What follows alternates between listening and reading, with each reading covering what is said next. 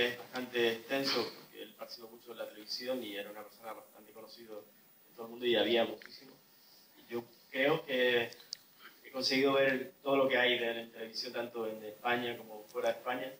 Y, eh, y ahí pasa una cosa curiosa que, que, suele pasar a los compañeros que trabajan en documental, en este tipo de documental, aunque yo estoy ahora trabajando en este tipo de películas, pero me, me, pasa, me ha pasado con Manrique, que es que llegas a tener una cierta intimidad con el personaje, aunque no lo hayas conocido, el personaje está muerto, pero al, al ver todo el archivo, escuchar todas sus intervenciones en la radio, ver todo su álbum familiar, escuchar a mucha gente hablar de él, al final tienes una cierta intimidad y me pasó una cosa curiosa que cuando se estrenó esta película en Taro, el Taro, el Taro de Taiche se estrenó esta película, fueron sus hermanos y esta película nosotros, nosotros no quisimos contar con la familia, pero porque no, no venía cuento, ¿no? teníamos otro discurso y, y cuando los hermanos me vinieron a saludar me fue un shock, ¿no? porque parecía que estaba viendo a Manrique. ¿no? Es una cosa que yo nunca lo vi.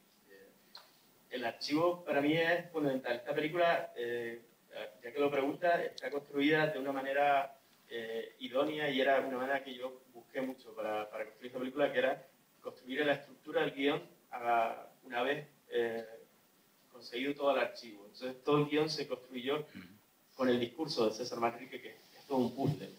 Han visto y parece que es una narración eh, como lineal y es todo un puzzle de, de un entramado de, de, fragmentos de audio de un lado de otro y de imágenes de un lado de otro y construimos primero el archivo, la, la, estructura del archivo y luego se rodó la película. Y una cosa muy bonita que dice Pepe Damaso, que es gran, el gran amigo de César Manrique durante toda su vida, que tampoco está en esta película, pero porque no queríamos tocar esa vertiente más personal de, de César, que, que, que a mí me gustó mucho cuando la vio, eh, que que parecía que la película la estábamos rodando con César, y que parecía que todas las cosas iban a favor de, del discurso de César Manrique. Y, y, a mí me gustó porque es que estaba, era, precisamente estaba hecho así. Queríamos que él se contara así.